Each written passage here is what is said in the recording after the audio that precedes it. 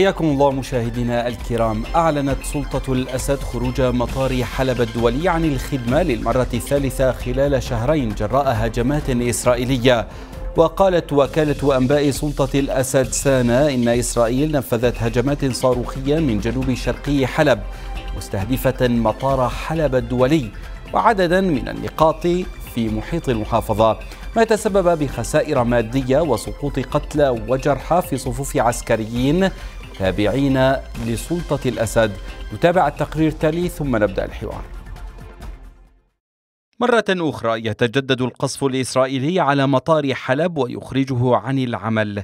وكالة الأنباء سانا التابعة لسلطة الأسد نقلت عن مصدر عسكري لم تسمه أن سلاح الجو الإسرائيلي نفذ عدوانا جويا برشقات من الصواريخ من اتجاه جنوب شرقي حلب مستهدفا مطار حلب الدولي وعددا من النقاط المحيطة به. وأضاف المصدر لسان أن ما وصفه بالعدوان الإسرائيلي أدى لمقتل عسكري وإصابة سبعة بجروح ووقوع بعض الخسائر المادية وخروج مطار حلب الدولي عن الخدمة. بدورها أكدت القناة الثانية عشر الإسرائيلية أن من بين الأهداف مستودعات ذخيرة للميليشيات الإيرانية. إسرائيل التي نادرا ما تؤكد تنفيذ ضربات لها في سوريا إلا أنها تكرر أنها ستواصل تصديها لما تصفه بمحاولات إيران ترسيخ وجودها العسكري في سوريا. وكانت إسرائيل قد شنت خلال الأعوام الأعوام الماضية مئات الضربات الجوية لها في سوريا طالت مواقع لجيش سلطة الأسد وأهدافا إيرانية وأخرى لحزب الله. من بينها مستودعات أسلحة وذخائر في مناطق متفرقة. وأرحب بضيوفي السيد غزوان مصطفى الغدير بكالوريوس علوم سياسية وعلاقات دولية من غازي عنتاب وأيضا الرائد يوسف الحمود ضابط منشق من الشمال السوري وأبدأ من عندك آه، الرائد يوسف في البداية يعني ما الجديد في هذه الضربات الإسرائيلية؟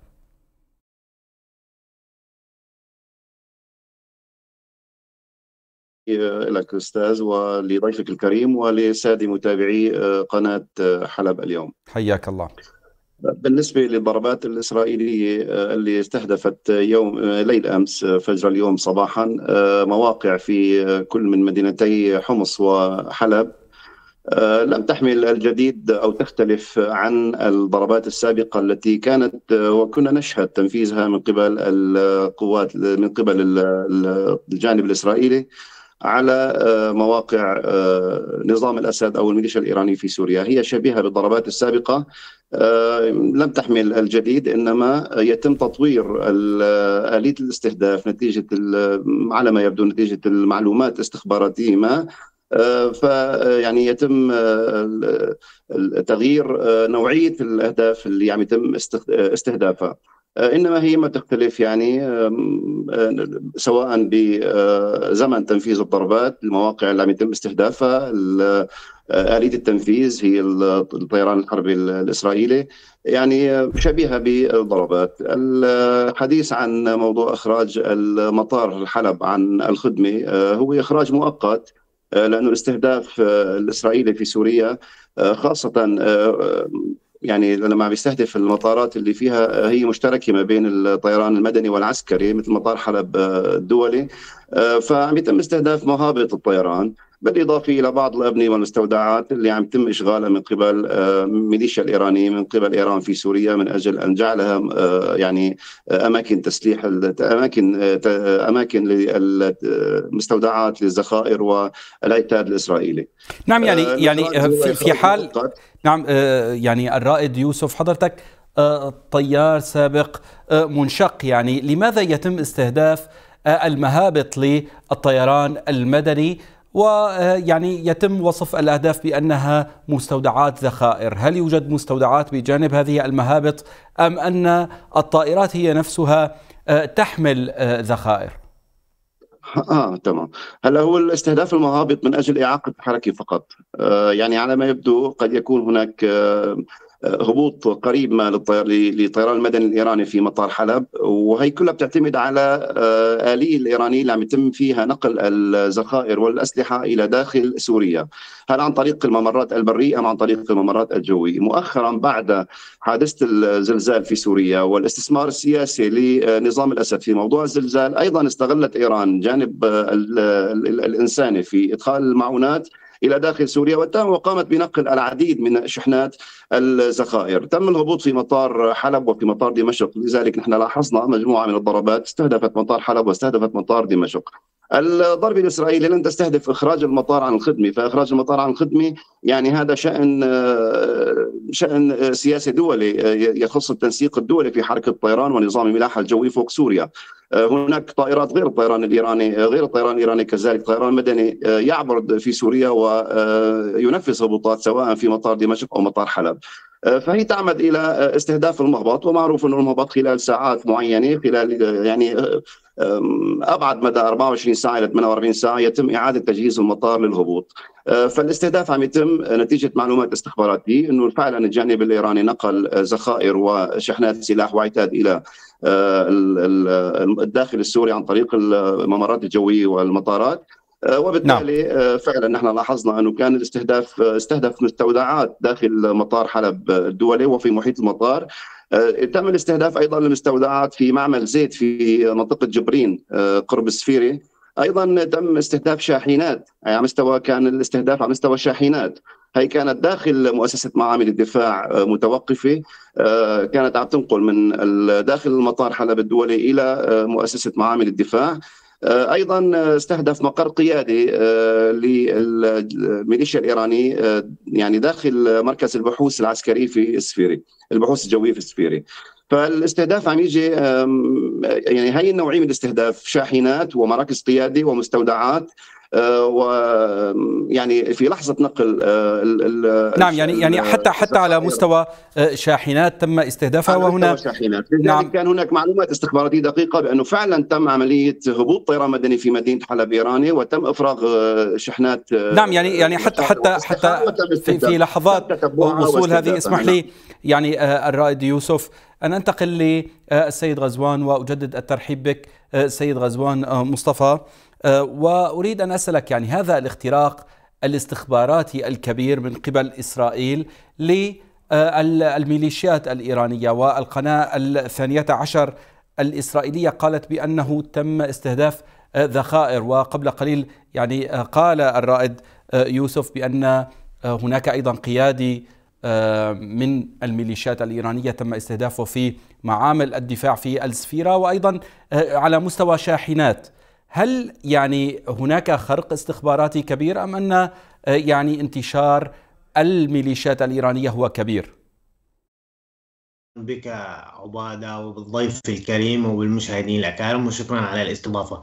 حقيقة استهداف إيران لم يكن فقط بناء على معلومات استخباراتية لكن يبدو أن هناك كان محاولة من الإيرانيين بتغيير قواعد وخطوط الاشتباك. تحدثت عدة دوائر عبرية من مراكز دراسات ووسائل إعلام مقربة من صنع القرار أن الشحنات المستهدفة كانت هي لطائرات بدون طيار. وهو ما يحدث خلل في قواعد الاشتباك السابقة التي كانت موجودة فضلا عن أهمية حلب للإيرانيين. فإيران على سبيل المثال موجودة في الجنوب السوري تحاول التواجد على الحدود مع الكيان أو مع دولة إسرائيل وفي الشرق السوري في معبر البوكمال ولاحظنا كم استهدف التحالف القوافل الإيرانية وكما تفضل عطفا على كلام ضيفكم الكريم أن إيران استغلت الزلزال وما يثبت أهمية حلب بالنسبة للإيرانيين. نذكر بعد الزلزال أن إسماعيل قاآني خليفة قاسم سليماني زار مدينة حلب قبل حتى وصول بشار الأسد إليها ما يؤكد أهمية حلب بالنسبة لإيران. فب تثبيت قواعد لإيران في مدينة حلب وهي المدينة المهمة والمدينة الثانية في سوريا وذات الموقع الجغرافي وسواه من العوامل التي تصب في أهمية حلب ضمن الخارطة أو الحدود السياسية لسوريا عموما يؤكد على أهمية حلب بالنسبة لإيران. ف إيران استهدفت في وسط سوريا في بادية حمص وفي شرق سوريا في محافظة دير الزور وفي معبر البوكمال.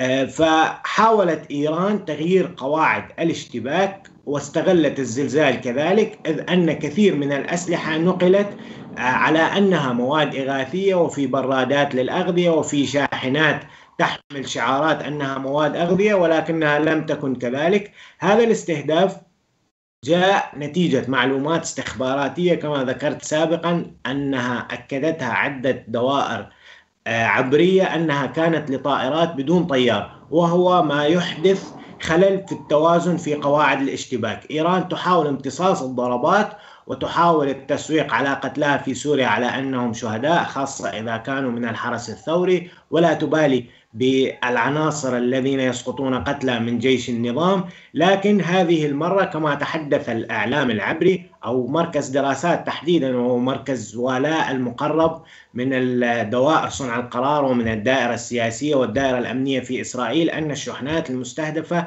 كانت لطائرات بدون طيار. يبدو أن إسرائيل تعمدت إخراج المطار من الخدمة حتى تكون سياسة رسالة آه، قاسية اللهجة مثل ما يقال. أن لا نقبل بتغيير قواعد الاشتباك ولن نقبل بدخول طائرات مسيرة على الخط نعم لكن لكن يعني آه، سيد سيد غزوان يعني آه، ذكرت حضرتك بأن إيران استغلت آه، يعني الزلزال وقامت بإدخال الكثير من الأسلحة. لماذا الآن يعني إسرائيل تستهدف هذه الطائرات بدون طيار؟ وهل كان هناك دخول سابق وهل آه، بالفعل خزنت آه، إيران وميليشياتها آه، أسلحة نوعية في الداخل السوري؟ نعم لا نستطيع فصل الجغرافيا السورية عن بعضها البعض ولا دراسة السلوك الإيراني لاحظنا سابقا أو قبل مدة بسيطة كيف أن إيران حاولت أن ترد على التحالف واستهدفت إحدى منشآت التحالف في شرق سوريا في حقل العمر تحديدا عبر طائرة مسيرة. إيران يبدو أنها قطعت شوطا في إنتاج تلك الطائرات ولاحظنا كيف أنها زودت روسيا بها بالحرب الأوكرانية فهي سلاح يعني آه، لا يكلف بشريا ولا يكلف اقتصاديا إذ بإمكانك أن تسير مسيرة يعني ببضع مئات من الدولارات وتحدث أثرا إن لم يكن. ماديا أو يسقط قتلى أو شيء لكن إيران ستطبل وتزمر أنها استهدفت قاعدة للتحالف وسواه ولاحظنا أنها فعلت ذلك. كذلك فضلا عن الطائرات المسيرة وربما الرائد يعرف بالأسلحة يعني بالتفصيل أكثر.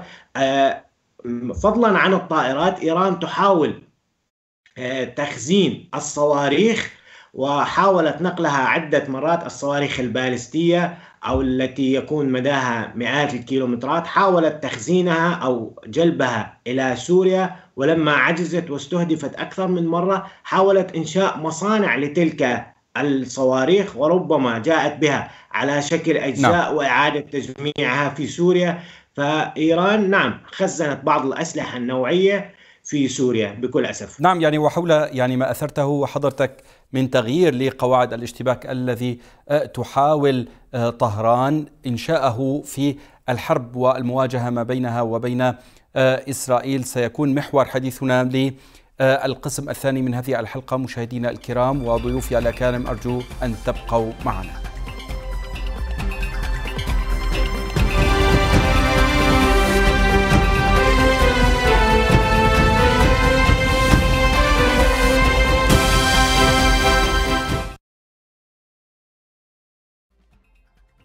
أهلا بكم من جديد مشاهدينا الكرام واجدد الترحيب بضيوفي السيد غزوان مصطفى الغدير بكالوريوس علوم سياسية وعلاقات دوليه من غازي عنتاب وأيضا الرائد يوسف الحمود الضابط المنشق معي من الشمال السوري.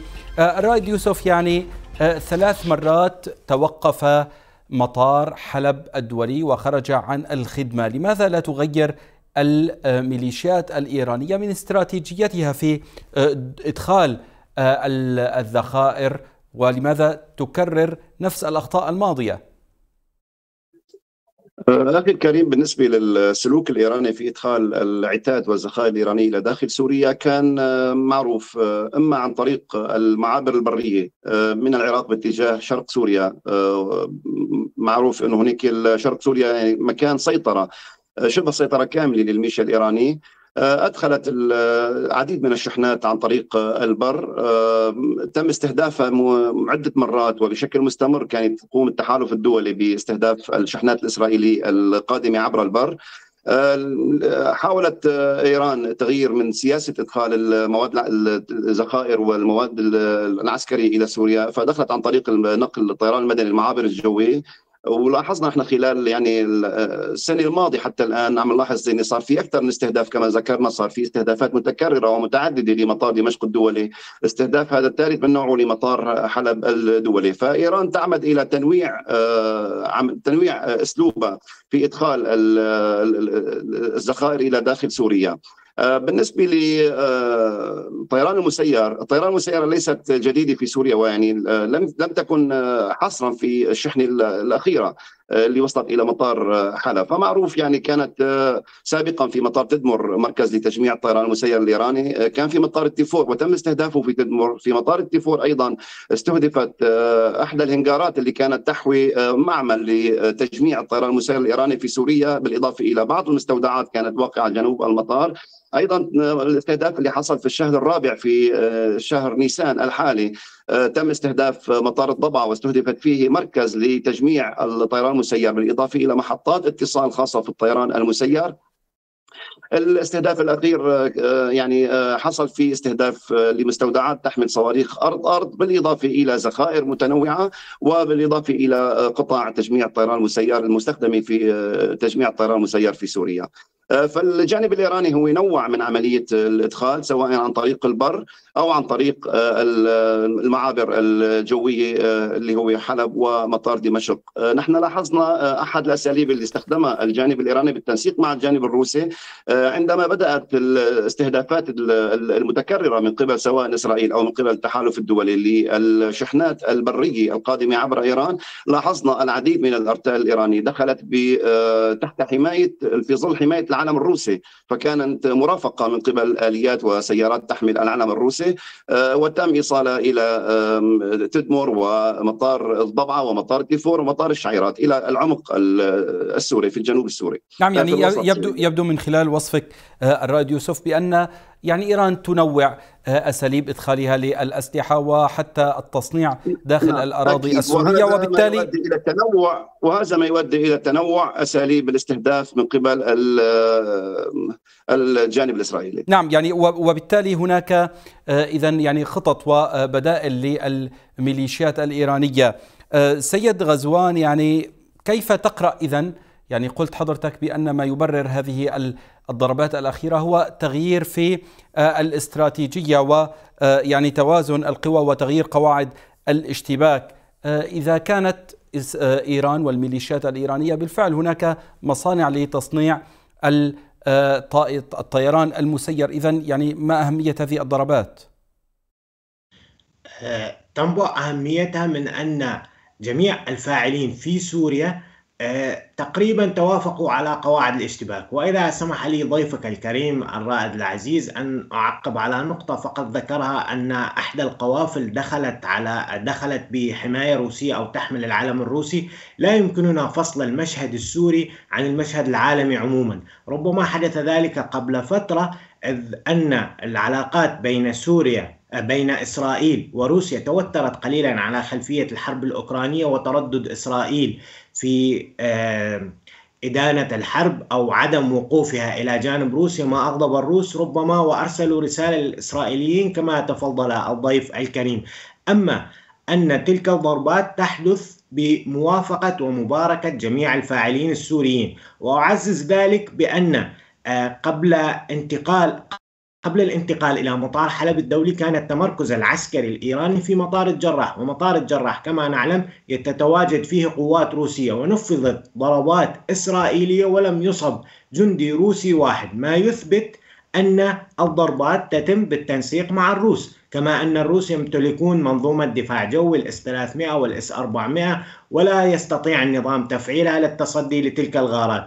بخصوص تغيير قواعد الاشتباك آه، كما ذكرت سابقا أن العديد من الدوائر العبرية من مراكز دراسات ووسائل إعلام وسواه تحدثت عن أن الإيرانيين بدأوا بإدخال منظومات دفاع جوي ربما ليس ربما كانت ستغير من قواعد الاشتباك وبناء على معلومات استخباراتية تم استهدافها فضلا عن البدء بنصب منصات لتلك الطائرات المسيرة لكن إسرائيل استبقت ذاك الشيء وضربت المطار في رسالة قوية أخرجته عن الخدمة ولا نعرف حجم الضرر وكم سيستغرق المطار للعودة. وتحدث ناشطون عن أن الانفجارات كانت قوية ما يدل على أنها استهدفت آه، مستودعات للأسلحة.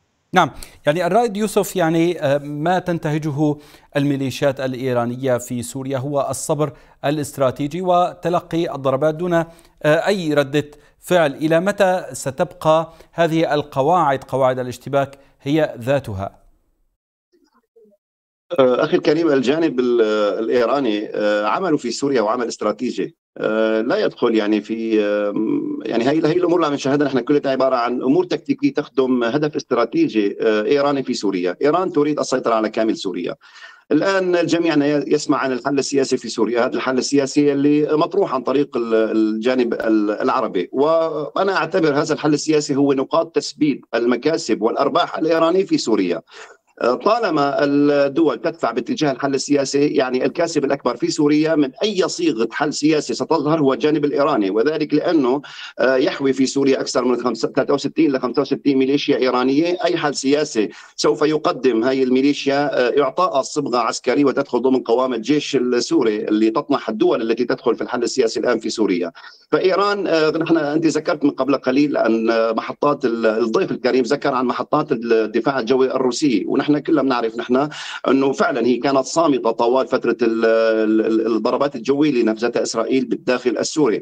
هي هي تمس قواعد الاشتباك الروسي الإسرائيلي في سوريا. ولكن لا تعني أن الروسي هو آه، منفصل تماما عن الجانب الإيراني في سوريا. الإيراني موجود في سوريا من من قبل الثورة السورية في محطات آه، دفاع جوي أدخلت ايراني في تجارب وفي مستودعات كاملة. تم آه، إنشاء وانشاء من قبل الجانب الإيراني على مستوى الرادارات ومحطات آه، دفاع جوي ومحطات آه، قيادي واتصال. وتوغلت وتغلغلت الجانب الإيراني في داخل بنية الجيش السوري. فيعني مقصد الكلام أن الجانب الإيراني يؤسس إلى شيء استراتيجي بقاء دائم في سوريا تحويلها الميليشيات إلى جيش منظم. السيطرة على أو نشر محطات دفاع جوي نشر محطات الطيران المسير في في المطارات. محطات الاتصال الخاصة في الطيران المسير، الصواريخ بعيده المدى، إذا الإيراني يريد أن أي تغير في قواعد الاشتباك في المنطقة يريد أن يكون هو مسيطر وفاعل دولي قوي في قواعد تغير أي نعم يعني يعني وهذا بالتحديد ما يذكره الجيش الإسرائيلي عندما يقول بأننا لن نسمح بمحاولات إيران ترسيخ وجودها العسكري في نعم، سوريا. هذه النقطة بالتحديد. و... نعم. هذه النقطة بالتحديد تعود تعود لخارطة المصالح الدولية للفواعل الدولي المعني بالشأن السوري، يعني سوريا لا يوجد فيها فقط الجانب الإسرائيلي والجانب الإيراني، هناك القوى العربية، القوى الإقليمية، هناك القوى الدولية من روسيا وأمريكا، هناك القوى الأوروبية ولو بدرجة أقل، إذا هناك مجموعة من الفواعل الدولية المختلفة ذات المصالح المختلفة في سوريا، هي التي تنادي بالحل السياسي إلى درجة أن لا أن لا تتغير قواعد الاشتباك إلى أي صدام بين بين بين أي نعم يعني وتحديدا حول الصدام. نعم يعني الرائد يوسف تحديدا حول الصدام. أريد أن أسأل السيد غزوان هل يمكن أن نشهد صدام بين الميليشيات الإيرانية والجيش الإسرائيلي في قادم الأيام خاصة مع تكثيف إسرائيل والجيش الإسرائيلي من غاراته على الميليشيات الإيرانية الموجودة في سوريا؟ ابدا ابدا. منذ اندلاع الثورة السورية من 12 عاما وإسرائيل آه، إيران تواجدت في الأراضي السورية وأيدت النظام بحجة أنه محور مقاومة وممانعة. وخلال ال 12 عاما لم تضرب طلقة واحدة انطلاقا من الأراضي السورية باتجاه إسرائيل. إيران يعني لديها خبرة واسعة في كيفية التعامل وفي كيفية تثبيت نفسها. لن تطلق طلقة واحدة باتجاه رصاصة واحدة باتجاه إسرائيل. هي تحاول ترسيخ وجودها العسكري فضلا عن الاجتماعي والديموغرافي وحتى الاقتصادي. وشاهدنا كيفية كيف الآن الرئيس الإيراني في سوريا حتى يقول لكل الفواعل كما ذكر الضيف الكريم أننا موجودون وأننا لا نزال هنا وأننا فاعلون في الملف السوري ونذكر كيف أن روسيا عندما ضغطت باتجاه أصدقائها الأتراك وتابعها النظام السوري باتجاه التقارب أن إيران لم تكن أصلا موجودة وضغطت إيران باتجاه ضغطت على النظام السوري حتى تحضر في الاجتماعات الآنفة وزيارة الرئيس الإيراني تؤكد ذلك لكن إيران تدرك أنها ليس بإمكانها أن تجعل من سوريا لبنان آخر تنفذ منه عمليات باتجاه إسرائيل، هي تحاول ترسيخ التواجد العسكري ربما لتكرار لا قدر الله التجربه العراقية بإنشاء كيان موازي شبيه بالحرس الثوري والحشد الشعبي في العراق وإلى آخره، كيان موازي للجيش، هذا في جوهر الأمر، لكنها حقيقة ليس في حسابها المقاومة ولن تتجرأ على فتح جبهة باتجاه إسرائيل من الأراضي السورية. نعم يعني ويبقى ويبقى ملف وجود الميليشيات الإيرانية في سوريا هو ملف هام جدا بالنسبة للملف السوري وسنتابع ب يعني بطبيعة الحال تطوراته. وأشكرك جزيل الشكر السيد غزوان مصطفى الغدير بكالوريوس علوم سياسية وعلاقات دولية كنت معي من غازي عنتاب. وأشكر أيضا ضيفي الرائد يوسف الحمود. الضابط المنشق كان معي من الشمال. السوري والشكر الموصول لكم سادتي المشاهدين على طيب المتابعة. هذه تحياتي أنا عبادة حيدري دمتم بخير. إلى اللقاء.